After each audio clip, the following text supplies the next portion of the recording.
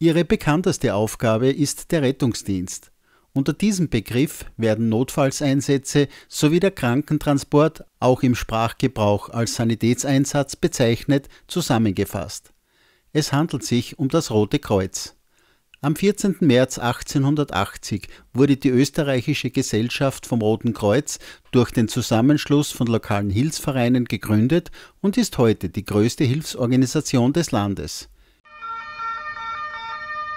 Im größten Rettungsbezirk der Steiermark, nämlich Bruckmütz-Zuschlag, gibt es jetzt einen Wechsel an der Spitze dieses Rettungsdienstes. Gerhard Gmeinbauer übergibt nach 15 Jahren als Kommandant die Aufgaben an seinen bisherigen Stellvertreter Heiko Schweiger. Der Bezirksstellenleiter Siegfried Schrittwieser würdigte bei einem Pressegespräch die Leistungen des scheidenden Kommandanten. Siegfried Schrittwieser, Bezirksstellenleiter für Bruck-Mütz-Zuschlag.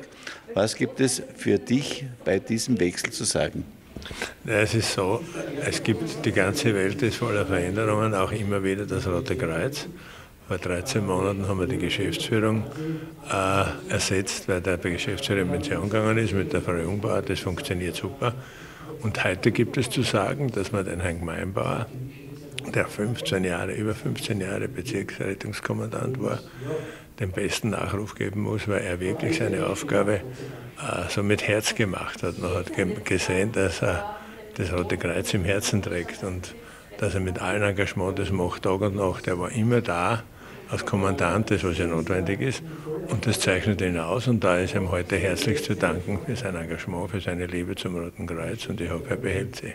Für den scheidenden Bezirksrettungskommandanten begann seine Laufbahn mit der Schneekatastrophe in Mariazell und endete mit der Covid-Pandemie 2021. Sehr arbeitsintensiv war für ihn auch die Zusammenlegung der vier Rotkreuz-Bezirksstellen zu einer der größten der Steiermark. Herr Gerhard Gmeinbauer, 15 Jahre Bezirksrettungskommandant. Sie gehen mit heutigen Tag in Pension. Was waren besondere Ereignisse in Ihrem Leben? Besondere Ereignisse in meinem Leben, in meinem Rettungsleben, waren die äußerst schwierigen Einsätze. Äh, Großkatastropheneinsätze, Großereignisse, aber vor allem äh, nicht nur die Einsätze, sondern auch die Kameradschaft innerhalb des Roten Kreuzes war für mich eine sehr große Erfahrung.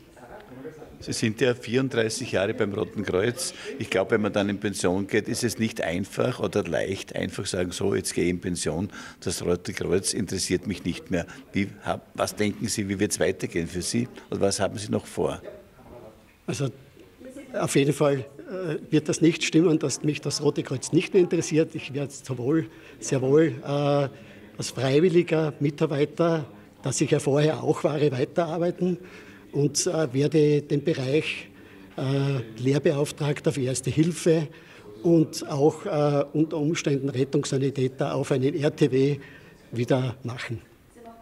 Und wo wird Ihr Einsatzgebiet sein, Herr Gemeinbauer? Einsatzgebiet ist äh, für mich dann St. Marien die Ortsstelle, äh, im Kurswesen natürlich der ganze Bezirk. Und äh, schauen wir mal, wie es was anderes noch sicher gibt. Heiko Schweiger, ab morgen, 1. September, neuer Bezirksrettungskommandant für den Bezirk Bruck-Mütz-Zuschlag. Was sind Ihre Pläne und was ist Ihre Geschichte? Wie sind Sie zum Roten Kreuz gekommen? Ja, ich freue mich schon auf die herausfordernde Aufgabe und bin sehr dankbar in Gerhard, dass ich die letzten 14 Jahre des FM äh, so gut lernen und meistern habe können. Ähm, ja, meine Geschichte, ich bin äh, 1995, Ende 95 in der Breitenau in die Jugendgruppe zum Roten Kreuz eingetreten mit ein paar Freunden von mir. Und mein Laufbahn ist von dort weg halt immer wieder bergauf gegangen. Ich bin 98 dann Rettungssanitäter geworden, 2001 Zivildiener, ein typisches Rotkreuzleben quasi. Äh, hat sich dann noch mein Zivildienst ergeben, dass ich gleich hauptberuflich bleiben habe können. Habe das natürlich dann genutzt und habe dann die Möglichkeit bekommen, etwaige Ausbildungen im ähm, Führungskräftesektor sowie im Einsatzsektor durchführen zu können und bin ja, seit 2007 in GHC Stellvertreter gewesen und habe mit ihm die ganzen Fusionierungen der, der Rettungsbezirke sowie eben jetzt die Corona-Krise gemeinsam äh, durchleben dürfen. Eine sehr verantwortungsvolle Tätigkeit, speziell jetzt in der Pandemie. Was wird dann, was wird weitergehen, wenn die Pandemie endlich mal vorbei sein wird? Wie schaut dann das Leben als Bezirks Kommandant für Sie weiter aus? Jetzt in der Corona-Pandemie ist natürlich für uns die Aufgaben, sind natürlich die Aufgabengebiete extrem gewachsen. Wir haben äh, fast doppelt so viele hauptberufliche Mitarbeiter, wie wir vorher gehabt haben, aufgrund der ganzen Test- und Impfstraßen. Äh, wenn dann das Ganze irgendwann einmal vorbei sein sollte, freue ich mich, dass wir mal äh, normale Arbeiten durchführen dürfen. Vielleicht schaffen wir es einmal, dass wir ein ganzes Monat ohne großartige Katastrophen irgendwie durchkommen und unseren normalen operativen Rettungsdienst in guten und gewohnten wie wir es bis jetzt auch gehabt haben, weiterhin aufrechterhalten können. Was ist Ihre spezielle Tätigkeit als Bezirksrettungskommandant?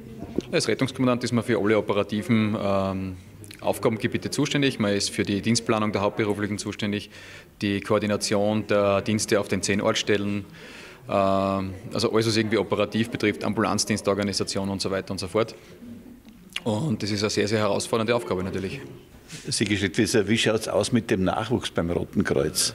Das passt ja dazu, nicht? wenn die anderen aufhören, braucht man Nachwuchs. Wir haben also hier in der Nachwuchsarbeit gute Erfolge. Wir haben aber noch Unterschiede zwischen den städtischen Ortsstellen und den ländlichen Ortsstellen, weil die Jugend braucht auch immer wieder eine gewisse Gruppe, wo sie Spaß haben, wo sie sich unterhalten, wo sie sich gegenseitig begeistern. Und daher ist es im städtischen Bereich etwas leichter, Jugend für das Rote Kreuz zu finden, als wir in den kleineren Ortsstellen. Aber insgesamt muss man sagen, sind wir mit der Jugendarbeit derzeit sehr zufrieden. Aber mein Appell geht trotzdem an die Jugendlichen, meldet euch, ihr könnt zu Jugendgruppen kennen, dort lernt man das Rote Kreuz kennen und dann wächst man dort hinein und ist mit Begeisterung dabei. Also für all jene, die ein Herz zu helfen mit sich tragen, nicht nur an der Spitze, auch im operativen Bereich ist man im Bezirk jederzeit willkommen.